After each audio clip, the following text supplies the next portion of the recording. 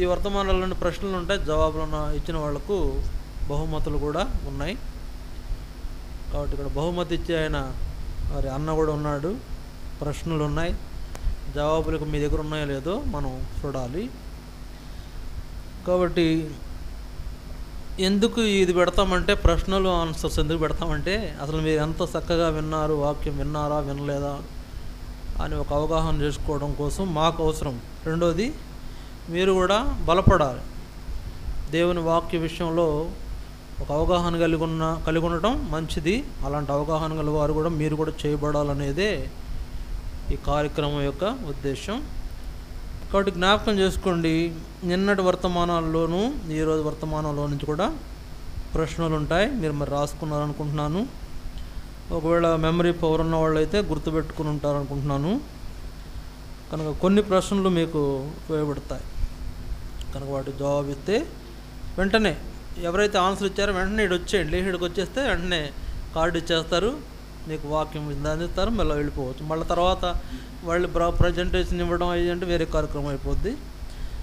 అందుకనే మీరు ఇక్కడికి రా పిలవమని పిలవగానే వచ్చి బహుమతి తీసుకోవాలి. సరే మనం నిన్నటి నుంచి మొదలు పెడతాం. నిన్న మనం వర్తమానంలో విన్న ఆ విషయాల గురించి మరి మొదటిగా మరి దైవ సేవకుడు రమేష్ బ్రదరు ఇచ్చిన వర్తమానంలో మరి ఆయన ఇచ్చినటువంటి వర్తమానంలో ముఖ్యంగా మనకు మూడు విషయాలు మన జీవితంలో మనం కలిగి ఉండాలని ఆయన చెప్పాడు. మూడు విషయాలు మనం కలిగి ఉండాలి. మన జీవితంలో అవి మనం కలిగిన అంటే వాటిని కలిగిన జీవితం మనకు అవసరమని మూడు విషయాలు చెప్పాడు. మూడు విషయాలు. నేను వర్తమానంలో నుంచి మూడు విషయాలు చెప్పాడు. ఎవరైనా చెప్పగలిగితే చేయెత్తండి. నిన్న రమేష్ బ్రదరు మొదటి వర్తమానంలో మూడు విషయాలు చెప్పాడు. ఏంటి? చెప్పు. మాకు. ఓకే.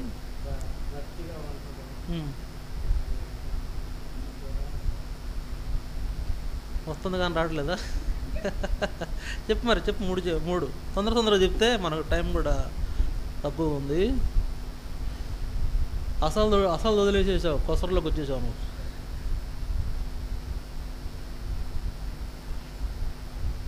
ఇంకెవరైనా చెప్పగలరా? ఆగా కాదు కంగారు బ్రో చెప్పగలుగుతావా? లాజరు చెప్పగలుగుతావా? చెప్పు మూడోది ఏంటి?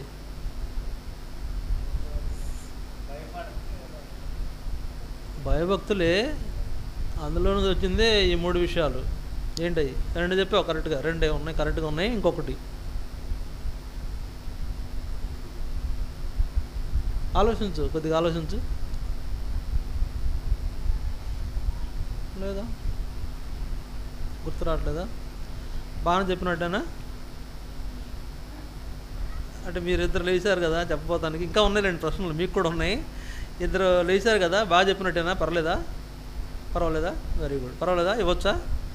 రైట్ సరే రండి. లాదరు ఇట్రా అమ్మాయి పక్క తప్పు అట్రా పుట్టుద్ది ఫోటో తిన ఫోటో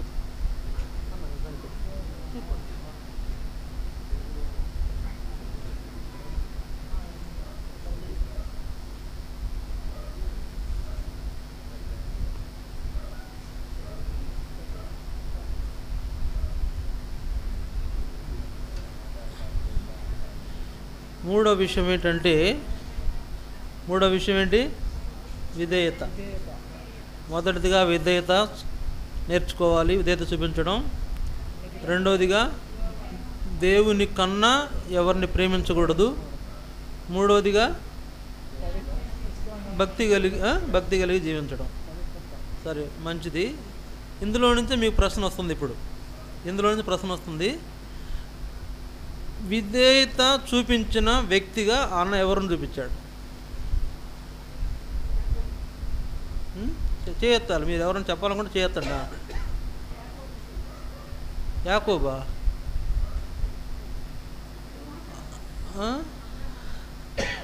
అబ్రహాం సరిత. సరే రమ్మా. అన్న? అబ్రహాం విధేయత చూపించింది అబ్రహాం ఆ?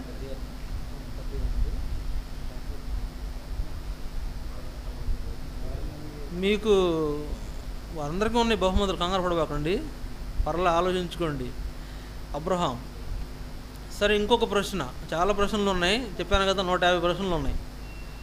చాలా ఫిల్టర్ చేసి చేసి చేసి కుది కుదించాం. సరే మూడో ప్రశ్న.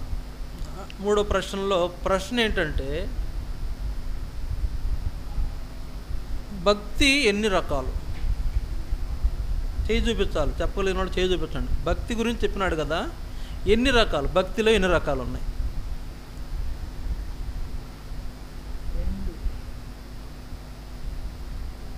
ఒకవేళ ఎన్ని రకాలు? ఏ ఏ రకాలైన భక్తి చెప్పాలి. అంటే ఇక్కడ క్రాస్ ఎగ్జామిన్స్ కూడా ఉన్నాయి. లెక్క అయితే మళ్ళీ మీరు చెప్పలేరేమో నేను వదిలేస్తున్నాను. చెప్పలేరా? భక్తి ఎన్ని రకాలు? రెండు రకాలు. చెప్పగలరా? రెండోది? నిష్కళంకమైన భక్తి. ఆ, రండి మీరు రండి. యాకోబ పత్రిక ఒకటి ఇరవై తొమ్మిదిలో అనుకుంటాను. భక్తిలో రెండు రకాలు. ఒకటి పవిత్రమైనది రెండవది నిష్కళంకమైన భక్తి. తర్వాత నాలుగో ప్రశ్న. సరే ఇక అన్న వదిలేద్దాం. రమేష్ అన్న వదిలేద్దాం. మళ్ళీ జర్మియాన్ అన్యాయం అయిపోతాడు. ఆయన కూడా కొన్ని చెప్పినాడు కాబట్టి ఆయనకు కూడా మనం ప్రయారిటీ ఇవ్వాలి. సరే అన్న నిన్న నిన్న వర్తమానంలో ఈరోజు వర్తమానంలో మనం తీసుకుంటాం. నిన్న వర్తమానంలో తీసుకుంటాం ఈరోజు వర్తమానంలో తీసుకుంటాం.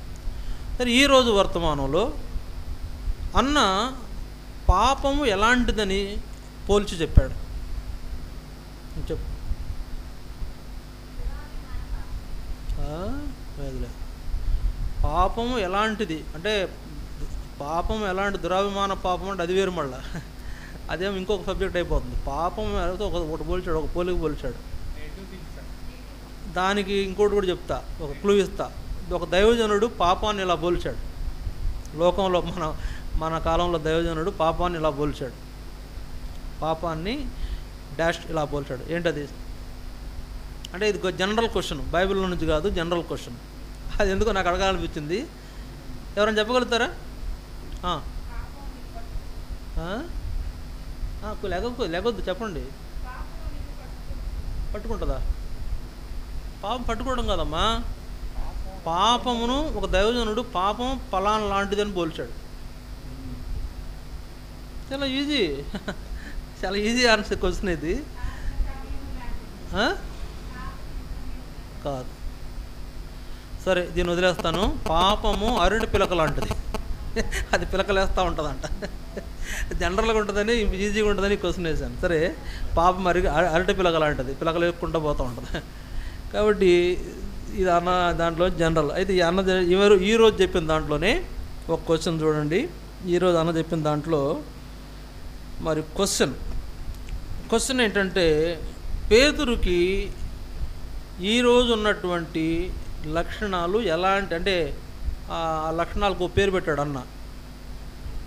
కొన్ని లక్షణాలు చెప్తూ ఆ లక్షణాలకు ఓ పేరు పెట్టాడు. ఏమి లక్షణాలు? చే- నెగిటివ్. నెగిటివ్? థింగ్స్ నెగిటివ్ రండి. నెగిటివ్ అంటే ఏంటి? అసలు అర్థం తెలుగులో చెప్పండి. కొంచెం అర్థ- వాళ్ళు ఉన్నారు కదా. నెగిటివ్ అంటే అబద్ధం కాదబ్బా నెగిటివ్ అంటే అబద్ధం ఏంటి నెగిటివ్ అంటే దేవునికి అనుకూలంగా ఉండడం పాజిటివ్ దేవునికి వ్యతిరేకంగా ఉండడం నెగిటివ్ వ్యతిరేక క్రియలు వ్యతిరేక లక్షణాలు కలవాడు. సరే ఇప్పుడు నువ్వు నెగిటివ్ అని చెప్పావు. సరే ఓకే. నెగిటివ్ అంటే ఏంటంటే దేవునికి విరోధంగా జీవించడం ఓకే. కొద్ది గడ్డి చెప్పండి మాకు కొద్దిగా వినపడాలి కదా అందరికి వినపడాలా కొద్ది గడ్డి చెప్పండి. సరే మంచిది పర్లా. నెగిటివ్ నెగిటివ్ అంటే దేవునికి విరోధంగా జీవించడం జీవించిన లక్షణాలు. ఆ లక్షణాల్లో మూడో లక్షణం ఏంటి? నిలబడు. కరెక్టేనా? కరెక్టేనా? ప్రైజ్ చూద్దామా రైట్. మరి నా మీ మీరు కూడా సమ్మతిస్తున్నారు. నా నా తప్పేం లేదు ఇందులో. రేపు పొద్దున్న ఏందయ్యా మళ్ళీ ఎడు చేసేవాడు నన్ను అనకూడదు మీరు. రండి. రమ్మ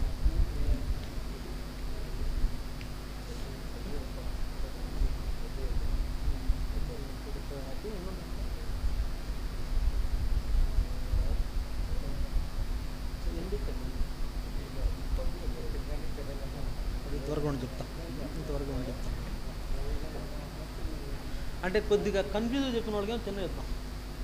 రైట్ ఓకేనా అది ప్రశ్న జవాబు కరెక్ట్గా చెప్తేనేమో పెద్దది ఇస్తాం. కొద్దిగా కన్ఫ్యూజ్ చెప్తే చిన్నది ఇస్తాం. ఇక్కడ నుంచి మార్చాం రూల్స్ మార్చేసాం. కాబట్టి సరే ఈరోజు వర్తమానం అట్లా పక్కన పెడదాం. నిన్న వర్తమానంకి వెళ్దాం. అరే మీరు ఇక్కడే చెప్తే మొత్తానికి మొత్తానికి అన్ని బాగా బట్టి పట్టేసినట్టుండారు. నిన్న వర్తమానానికి వెళ్ళిపోతే పేతురు గారికి నిన్నున్నటువంటి వర్తమానంలో పేతురు గారికి ఏమి లక్షణాలు అంటే పాజిటివ్ లక్షణాలు. అంటే ఆయన దేవుని కొరకై జీవించే జీవితంలో ఆయన కలిగి ఉన్న మంచి లక్షణాలు. నిన్న చెప్పాడు అన్న. ఎన్ని లక్షణాల గురించి చెప్పాడు? ప్రశ్న. ఎవరో నువ్వా ఏమా? నువ్వు తీసుకున్నావు కదా కొద్దిగా ఆగు. చెప్పు. నువ్వు చెప్పు. ఐదా? కరెక్ట్గా చెప్పాలా? ప్రైజ్ తగ్గిపోద్దని చెప్పాను. ఐదేనా? ఐదా? ఐదు కాదు. ఐదు కాదు ఆలోచించుకో. ఏమండి? ఐదా ఐదా మీరు చెప్పింది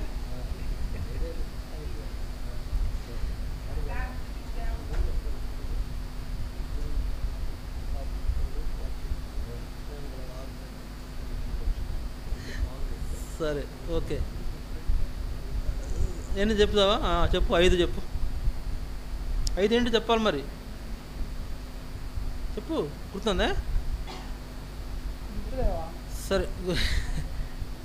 సరే ఐదు కదా? ఐదులో రెండు చెప్పు మొదటి రెండు చెప్పు.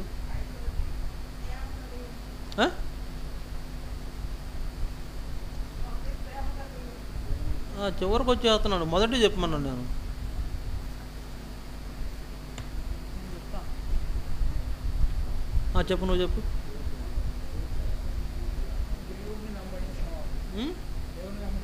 ఓకే. ఓకే. ఓకే.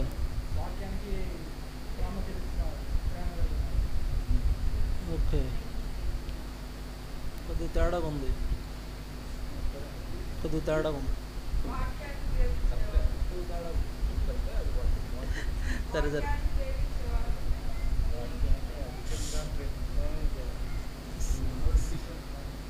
సీక్వెన్స్ కరెక్ట్గా చెప్పట్లా? చెప్పాడా? కరెక్ట్గా చెప్పాడా? ఏమో నాకు కొద్ది కన్ఫ్యూజన్ ఉంది. సరే నేను కొంటాను ఇంకా కొద్ది కన్ఫ్యూజన్ ఉంది.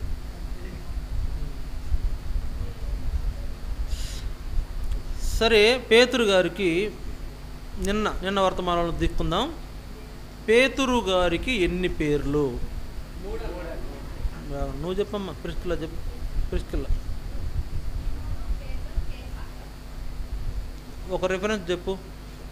అంటే సీమోన్ అనే ఎక్కడ ఉందో చెప్పగలవా? కేఫాన్ ఎక్కడ ఉందో చెప్పగలవా?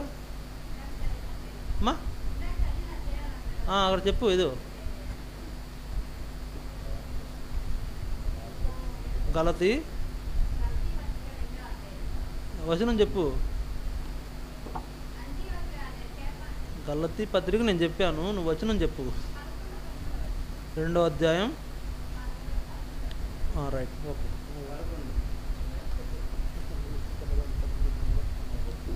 సరే సరే. ఓకే. సరే. ప్రశ్న. మరి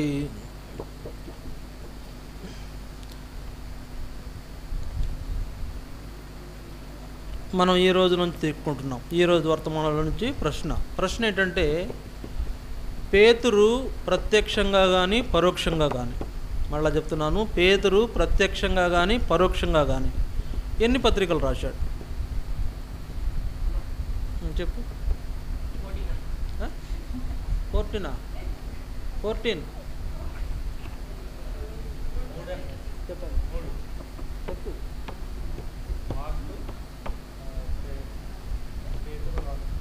ఒకటి రెండు పేతురు మార్కు కూడా పేతురు రాశాడు. ప్రత్యక్షంగా కానీ పరోక్షంగా కానీ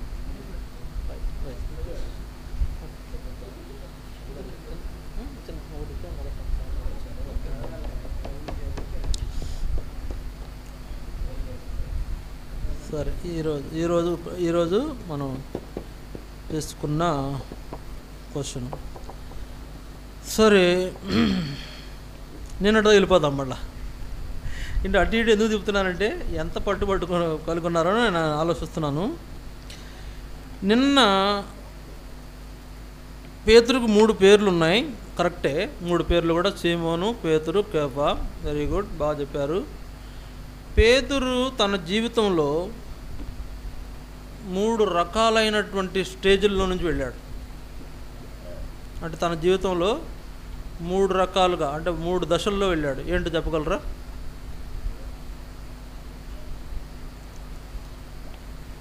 అదే ఆలోచించండి ఒకటే ఒక రెండు నిమిషాలు ఆలోచించండి రెండు రెండు సెకండ్లు ఆలోచించండి. పేతురు తన జీవితంలో జీవితం మొత్తంలో మూడు దశల్లో ఉన్నాడు. చెప్పగలరా? ప్రశ్న అర్థమైందా? పేతురు నా లైఫ్ ఉందండి. నేను ఒకప్పుడు బాలుడిని తర్వాత యవనస్తుడిని ఇప్పుడు వృద్ధుడిని. అట్లా. పేతురికి యవన కాలంలో ఒకలా ఉన్నాడు? తన నడి వయసులో ఒకలా ఉన్నాడు? వృద్ధాప్యంలో ఒకలా ఉన్నాడు? అట్లా. అంటే ఏ ఏ స్టేజ్లో ఉన్నాడు? చెప్పగలరా? కాదు. అన్న చెప్పాడు నిన్న. మీరు రెండు చెప్తున్నారు మొదట చెప్ప మీరు రెండు చెప్తున్నారు మొదట చెప్పండి. ముందు ఫస్ట్ దేవుడు చెప్పి తర్వాత రెండో దాని రండి ఏంటది మొదట? శిష్యుడు. రెండోది? మూడోది?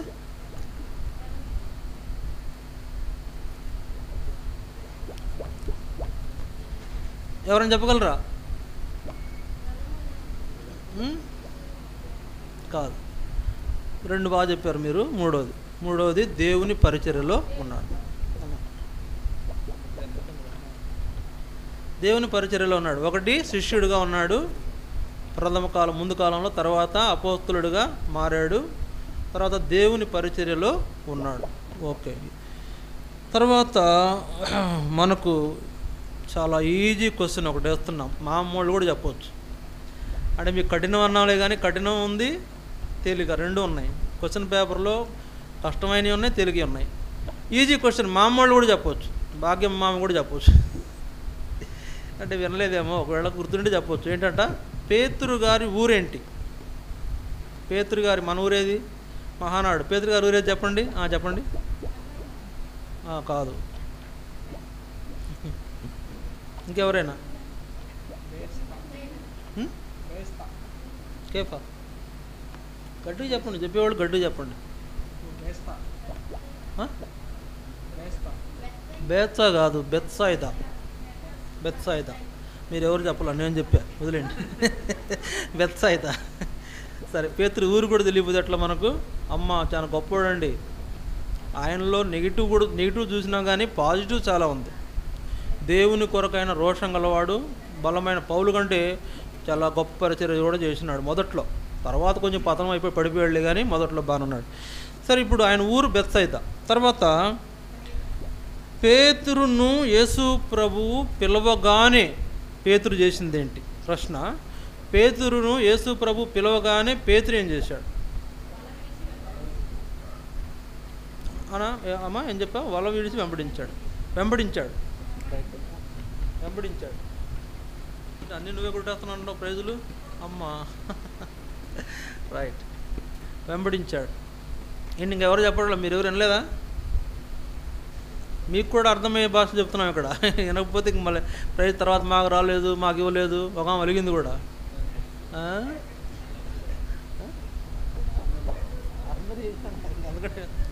సరే ఓకే.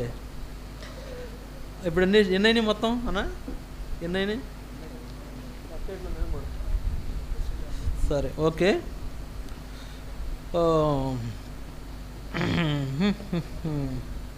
ఈరోజుకి వచ్చేద్దాం. ఈరోజుకి రండి. ఈరోజు మన అన్న చెప్పిన ఏడు విషయాల్లో ఆఖరి విషయం ఏంటి? నువ్వు చెప్పు. తూర్పా?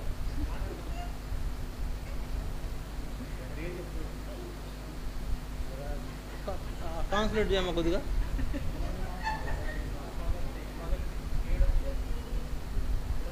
ఆయన ఏమన్నాడు నా చెప్పు. నువ్వు మార్చొద్దు అక్కడ. ఆయన ఏమన్నాడు నా చెప్పు. ట్రాన్స్లేట్ చేయి.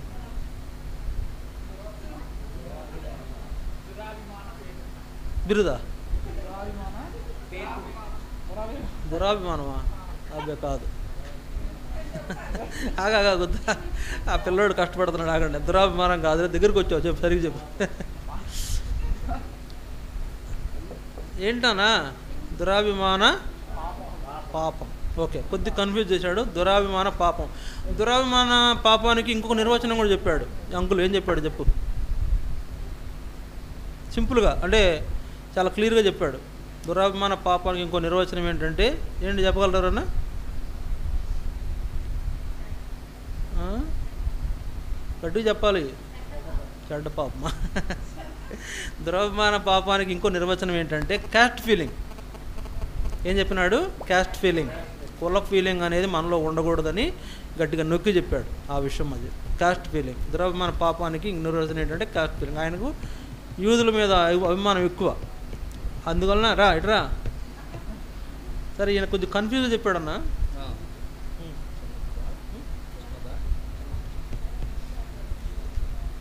మరి ఏంటి మీకేం లేవా? మీకేం లేవా? ప్రైజులు వద్దా మీకేం ప్రైజులు అక్కర్లే? సరే ఓకే. ద్రవ్యమాన పాపం అంటే కాస్ట్ ఫీలింగ్ అంట గుర్తుపెట్టుకోండి అన్న చెప్పాడు. సరే.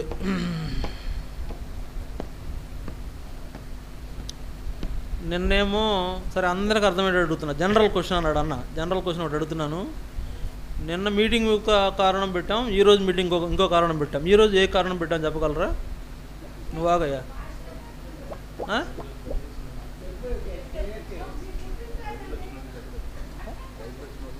అదే అదే అదే. ఓకే ఏంటి చెప్పండి?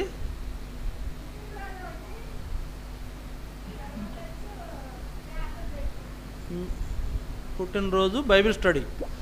Bible Bible study పెట్టుకున్నాం. సరే అన్న ఇవ్వచ్చు. ఈజీ క్వశ్చనే. చాలా ఈజీ క్వశ్చన్ కూడా చెప్పలేకపోతే ఎట్లా? సరే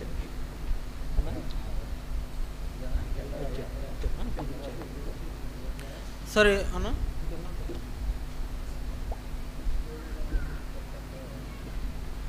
సరే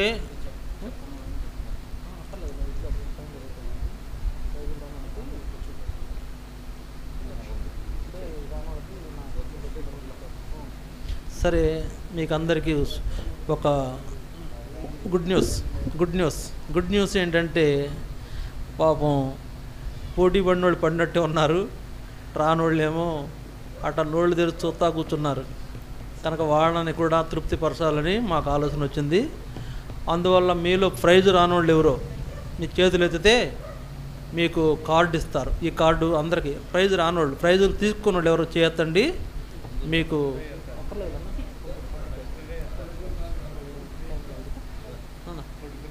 మీకు కార్డు అంటే ప్రైజ్ తీసుకున్న వాళ్ళు ఎవరో కార్డు రాని వాళ్ళు ఎవరు ఉన్నారో వాళ్ళు చేయెత్తితే మీకు ఇస్తారు ఒక వాక్యం ఇస్తారు.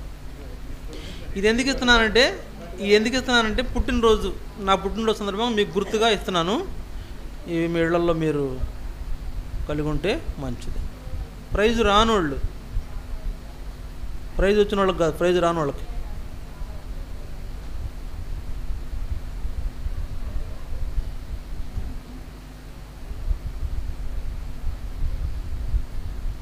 వాక్యాలు మీ ఇంట్లో ఉంటే చాలా మంచిదని. మరి నా పుట్టినరోజు కానుక అనుకోండి ఏమని అనుకోండి? ఇది మీకు నేను ప్రేమతో అయితే మీరు నిరాశపడకూడదని. మీరు రాబో రోజుల్లో ఇంకా కోడికలు ఉంటాయి. మనకు వచ్చే నెల ప్రభు చిత్తం అయితే వచ్చే నెల పదిహేను పదహారు తారీఖుల్లో కోడికలు ఉంటాయి. మళ్ళీ ఇదే బైబిల్ స్టడీ ఉంటుంది. పదిహేను పదహారు తారీఖులు. మరి ప్రార్థన చేయండి. ఒకవేళ ఏదైనా మార్పు ఉంటే తెలియజేస్తాం. కనుక వచ్చిన మీ అందరికి కూడా ప్రభువుని బట్టి వందనాలు. కొంత ఆలస్యమైంది ఒక పావు